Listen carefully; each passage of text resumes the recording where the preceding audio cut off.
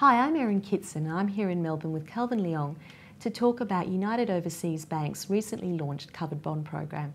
Calvin, thank you for joining us. Glad to be here. Calvin, can you briefly tell us a little bit about covered bonds? Uh, well, covered bonds are essentially bonds issued by financial institutions that are dual recourse. Uh, dual recourse because, firstly, uh, the, the, the, financial institution is obligated to pay the bond payments, uh, failing which a specific pool of assets being set aside will be available to, to meet those bond payments. Great. And Calvin, why is this uh, covered bond program by UOB so significant? Uh, well, it's significant because um, covered bonds are rare in this part of the world, Asia.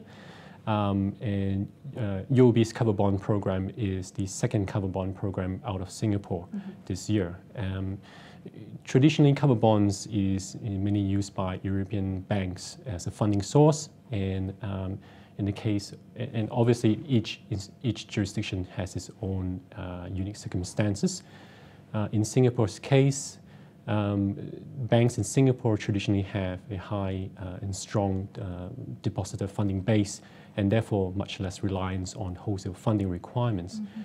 So, um, in choosing to invest in developing the cover bond uh, capacity for banks in Singapore, it's really about uh, uh, broadening their um, funding base as well as uh, giving them the capacity to really monetize the, the, the, pool of residential mortgage assets that they have if the need ever arises.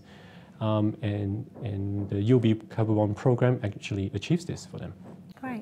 And Calvin, are we expecting to see more of this type of issuance in Asia going forward? Yeah, with banks in, uh, in Asia actually seeking to expand their investor base, uh, we, we, we, could very well see uh, these sorts of programs um, uh, actually coming online.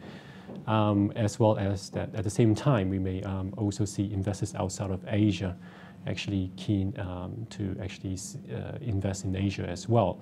Um, so as they get more comfortable with the jurisdiction, uh, with, with the legal frameworks in place, uh, certainly that could be an impetus for, for, for greater growth in this market here. Um, and uh, case in point is Singapore with a strong legal framework. You know, um, investors get more comfortable with with uh, with the with the jurisdiction involved. Yeah. Great, thank you, Calvin.